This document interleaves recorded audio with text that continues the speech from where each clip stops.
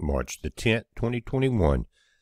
Guys, after two years, CERN has started to wake up. They've added some things to it. It took over that period of time to act so that it can actually operate at greater uh, power levels. If you remember two years ago when they shut down, they had achieved 14 tera electron volts, not gigavolts, but teravolts. And uh, they were in the collision, they were running about uh, 6.5 to 7 TeV per beam. And as they collided and they were measuring luminosity and everything, again, about 14 TeV. Now they've amped up the initial beam, which is uh, kind of the what they're calling the heart of the CERN system. And the initial beam powers up several different sectors. We're going to look at an article that uh, my wife Tina has put up on our website this morning. A lot of good articles come up there every day or so, so you need to check that out. We'll look at this one. But first, this is live. Notice your timestamp at the top right, 10 3, or that's uh, March the 10th. Again, this is uh, on the, um, I guess it would be the Franco Swiss border at CERN in Europe. And the timestamp is UTC at 1726.53. This is called the cryogenic page, and that's at the top left, and that means the cooling system. And the red boxes and green boxes and yellow sections in the top, these are different sections of the collider. The large loop is 17 miles itself, but uh, each section has to be brought down very cold, as cold as outer space, to allow operation at these high powers. And as you see that um, each section start to turn green, then it is reaching the cooling uh, temperatures necessary to operate at full power.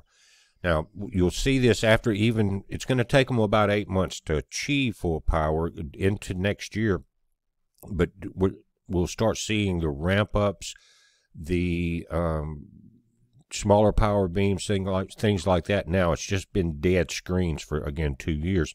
In the graph, in the bottom of this, you'll notice this is temperature measured in K and uh, you've got one, two, three, four, five, six. That's your scale here. Now, right here around 1.9, right under 2 is where they like for each of these sections to be dropped as far as the temperature. If anything starts spiking above that, and as you see here, they're trying to bring in two other sections to get it down, cool it off. It takes a long time, a lot of um, uh, energy, and, and actually also to do that. But is it you'll see CERN start kicking off the line, they start dumping the beams when this cryogenic section starts overheating. Right now, they're trying to bring everything down into this 1.9 level. And you can see they have uh, these sections 45, 12, 23, 24, and section 78. And you can see how this is laid out in uh, the different groups here. But they're at 1.9K. Notice that S56, Section 67, Section 81 are well above it, and uh, Section 67 is at 305.3. So uh, all of this will have to be brought down, and it's going to take a while to do it. But I want to go over and read from the article that's up on our website at bpearthwatch.com. It's interesting. And this is our website. Most of you know it, but it's bpearthwatch.com. Guys, the CDs are in stock. So are the water filters. Don't get caught without clean water again. Also, there's a special on the solar panels now that they're at the 100 watt rigid panels like I use. They are about $100 or so a piece. Now, if you buy three, you get one free. So it's 400 watts. If That's plenty for a small home, I mean a small like mini house or a camper or something like that. Now I have 12 of the panels. In a different video, I'm going to go over that. But right now, that's a definite $100 savings. Buy three and get one of those, one of these AccuPower 100 watt rigid panels, not the flexi panels. They just don't hold up as well. And you never get the full power like you do out of the rigid ones. But the article that we're talking about, if you come under over to the right, current news, come down here to where it says LS2 report, and this is a section of CERN that they're starting to crank up. CERN's oldest accelerator, excuse me, awakens. And you click there. There's several other articles. Notice this, very interesting information coming in. But uh, let's click on that. And that link will bring you to phys.org. org right here, physics, LS2 report, March 10th, 2021. This is a section of that LS2, and it says a new septum ma magnet after its installation in the proton synchrotron, and uh, credit CERN images. Synchrotron PS is the beating heart of CERN's accelerator system. Situated at the center of the complex, it feeds particle beams not only to the Large Hadron Collider, the LHC, but to many of CERN's major facilities, including the antimatter factory uh, and the East area. Klaus Hanke, head of the Proton Synchrotron operation team, chooses his words carefully to describe CERN's oldest accelerator still in operation. On March 4th, during the Veteran Accelerator, uh, excuse me, on March 4th, the Veteran Accelerator received its first particle beam after a two year shutdown, during which it underwent significant upgrades to prepare it for higher luminosity, an indicator of the number of collisions. Within CERN's accelerator complex, protons extracted from a hydrogen gas source are accelerated in the brand new LINAC 4 and in the PS booster before injection into the PS, when the, when th which then feeds either directly or indirectly the vast majority of CERN's accelerators and experiments.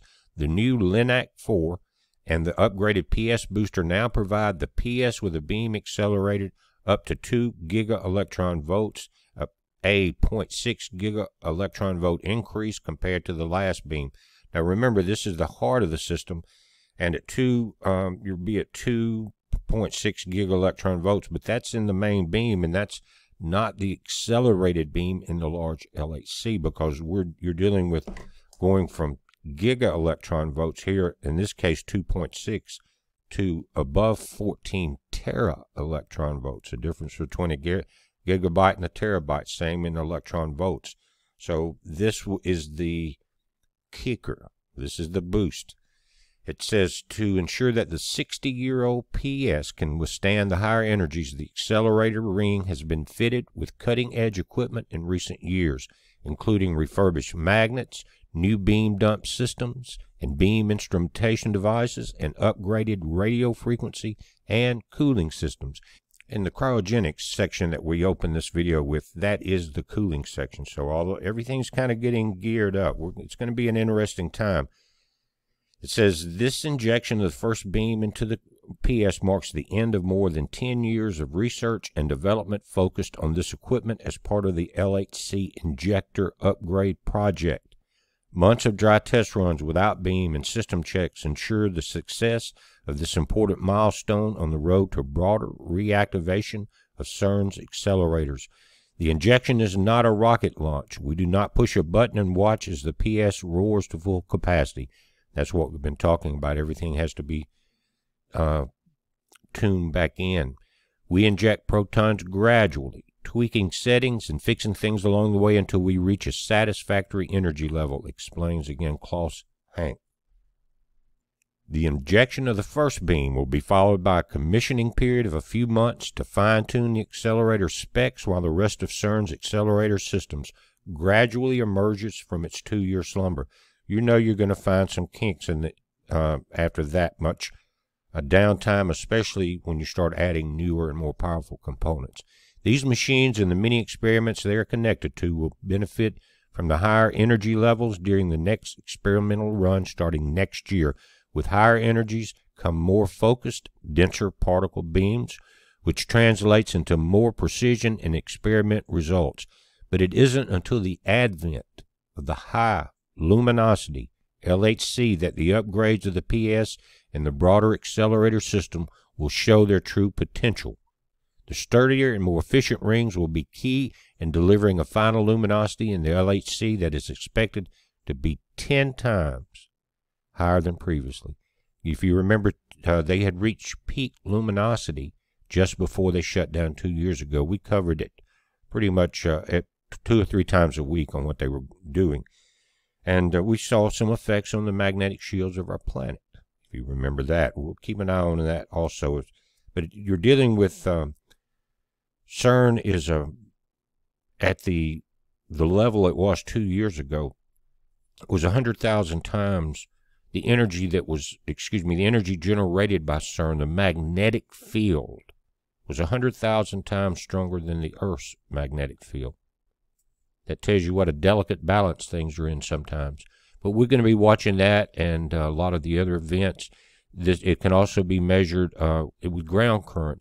And it's interesting that the location of CERN, where it's built underground, again, from Franco-Swiss border, that um, it lays within the northern hemisphere, but it's right on one of the underground magnetic lines they call ground field inductor lines is one of the names for it.